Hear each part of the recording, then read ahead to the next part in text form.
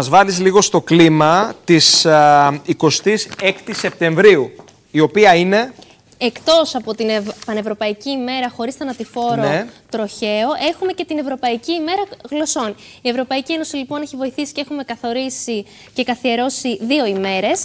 Ε, από το 2001 με πρωτοβουλία του Συμβουλίου της Ευρώπης και νομίζω ότι σήμερα οι άνθρωποι οι οποίοι έχουν αποφασίσει να α, χαρίσουν ένα πολύ μεγάλο μέρος της ζωής τους στην εκμάθηση γλωσσών περνάνε ένα πολύ σημαντικό μήνυμα για τη σημαντικότητα. Το βίντεο που παρακολουθούμε ναι. είναι από την Ευρωπαϊκή Ένωση από την επίσημη ιστοσελίδα στο YouTube και ουσιαστικά αυτό που λέει είναι ότι η επίσημη γλώσσα της Ευρωπαϊκής Ένωσης είναι η μετάφραση. Γιατί συμβαίνει αυτό, γιατί μπορούμε να μιλήσουμε όλες τις γλώσσες και από τη μία να μεταφράσουμε στην άλλη και έτσι να επικοινωνήσουμε. Υπάρχουν πάρα πολλοί άνθρωποι οι οποίοι εξειδικεύονται στο να μιλούν πολλές γλώσσες και έναν από αυτούς θα γνωρίσουμε και σήμερα εδώ στην εκπομπή. Μάλιστα, λοιπόν, Εύη, να σε ευχαριστήσω πολύ.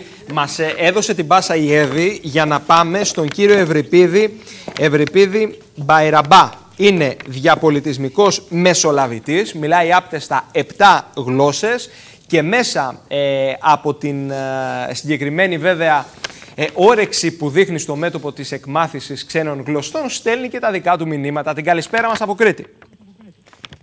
Καλησπέρα σας, καλησπέρα. Τι κάνετε; Ε, να σας ευχαριστήσουμε πολύ. Είμαστε καλά. Σας φιλοξενούμε στην Πρεμιέρα. Έχουμε διαλέξει ξεχωριστά θέματα και μέσα από αυτά τα θέματα προκύπτουν και μηνύματα. Ε, αν δεν κάνω λάθος είστε γυμναστής και συνδυάζετε αυτή την περίοδο την παρουσία σας στα γήπεδα με την διδασκαλία ε, αραβικών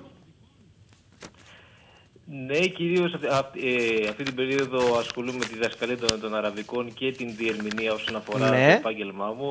Υπάρχει δηλαδή στις αρμοδιότητές μου η διερμηνία. Ε, στα γήπεδα όχι στην συγκεκριμένη περίοδο, παλαιότερα και ενδέχεται και στο μέλλον. Ε, είναι ευχής έργων. Λοιπόν, ε, μιλάτε άπτεστα 7 γλώσσες, σωστά; Κοιτάξτε, ε, άπτεστα δεν μιλάει κανένας σε καμία γλώσσα. Δηλαδή, Υπερβολή για να παρουσιάσουμε και το θέμα, μην νομίζετε. Μιλάτε 7 γλώσσες. Μπορείτε να συνεννοηθείτε ε, σε 7 γλώσσες. Να καταλάβετε εντός αγωγικών 7 γλώσσες. Λοιπόν, πόσο εύκολο είναι ναι. για κάποιον να μάθει πάνω από δύο ε, ξένες γλώσσες που οι περισσότεροι γνωρίζουμε; Κοιτάξτε να δείτε, δεν θα είμαι τόσο ρομαντικός να σας πω ότι μπορεί να το κάνει οποιοδήποτε. Γιατί για μένα θα πρέπει να ισχύουν τρεις προποθέσει. Οι προποθέσει αυτές είναι οι εξής. Αρχικά, κάποιος, η πιο σημαντική προπόθεση είναι κάποιος να το θέλει. Γιατί το να θέλει να μάθει κάποιος πολλές γλώσσες να γίνει πολύκλωτα, να ξεπεράσει ένα συγκεκριμένο αριθμό γλωσσών, όπως να φτάσει ένα διψήφιο αριθμό γλωσσών να μιλάει, θα χρειαστεί αρχικά να το θέλει ο ίδιος, να είναι το μεράκι του. Κατά δεύτερον, θα χρειαστεί να υπάρχει και ένας διαθέσιμος χρόνος γενικότερα. Δηλαδή, δεν μπορεί να πούμε έναν άνθρωπο ο οποίος ε, δουλεύει περισσότερες από 10 ώρες την ημέρα να, να μπει σε αυτό το, το τρυπάκι, σε αυτό το καλούπι, σε αυτή τη συνήθεια, προκειμένου να εξασκηθεί σε τόσες πολλές γλώσσες. Θα χρειαστεί ένας χρόνος, ο οποίος ε, θα πω ότι είναι και σε βάθος ετών. Και κατά τρίτον, θα χρειαστεί μια σταθερότητα και μια συνέπεια στη μελέτη, η οποία δεν είναι ανάγκη να είναι εντατική. Απλά πρέπει να είναι καθημερινή, συμπεριλαμβανομένων και των αργιών, γιατί ξέρετε, βασική ιδιότητα του ανθρωπίνου εγκεφάλου είναι να ξεχνάει και όχι να θυμάται καλός ή κακός. Πρέπει να υπάρχει μια συνέπεια προκειμένου όλες αυτές οι πληροφορίες να αποθηκευθούν, να, απο, να απομνημονευθούν και να ανακληθούν στη συνέχεια ε, σε, προ, προφορική ε, εξάσκηση με μαλλοδαπό πληθυσμό. Μάλιστα. Ε, έχουμε σήμερα βέβαια και την Ευρωπαϊκή ημέρα γλωσσών, 26 Σεπτεμβρίου. Τα μηνύματα τα οποία μπορούν να προκύψουν και να εκλάβουν βέβαια και να εκλάβει και η νέα γενιά. Ποια είναι οι συμβουλές σας, η προτροπή σας; Ότι γενικότερα ε, ζούμε στον 21ο αιώνα. Ε, για μένα η γλωσσομάθεια πλέον είναι εκ των ουκάνευ και κυρίως η γνώση της αγγλικής γλώσσας. Ζούμε σε έναν κόσμο ο οποίος είναι παγκοσμιοποιημένος.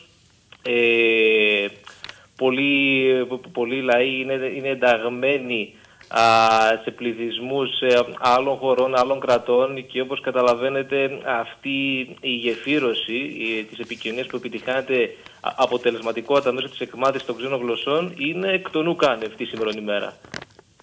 Μάλιστα και πολύ λόγος έχει γίνει βέβαια αναφορικά με τον τρόπο διδασκαλίας και από ποια είναι η, η ιδανική ηλικία για ένα παιδί να ξεκινήσει ε, την δουλειά εντός εισαγωγικών με μια ξένη γλώσσα, την εκμάθηση μιας ξένης γλώσσας. Τι πιστεύετε εσείς; Κοιτάξτε, εγώ ειδικός επί του θέματος δεν είμαι, αλλά κρίνω ότι εφόσον αποκτηθεί το αλφάβητο και κάποιες βασικές επικοινωνικές δεξιότητες ε, της μητρικής γλώσσας από τη, από τη μεριά του παιδιού, μπορεί στη συνέχεια, κατόπιν ενός έτους, να καταπιαστεί και με μία δεύτερη ξένη γλώσσα. Και μετά με την πάροδο του χρόνου και με μία τρίτη και μία τέταρτη, ε, αυτό φυσικά υπάγεται και στην επιθυμία και την όρεξη του ίδιου του παιδιού να μάθει ε, ε, περαιτέρω ξένες γλώσσες.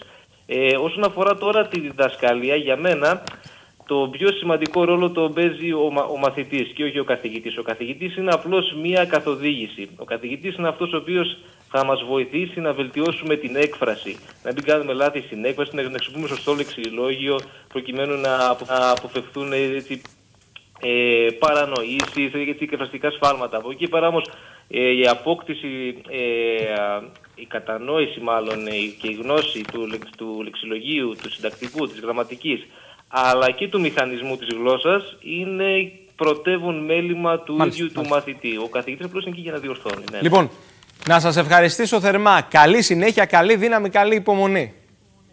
Να είστε καλά. Καλή, καλή συνέχεια και σε εσάς. Σας ευχαριστώ πολύ. Να είστε καλά.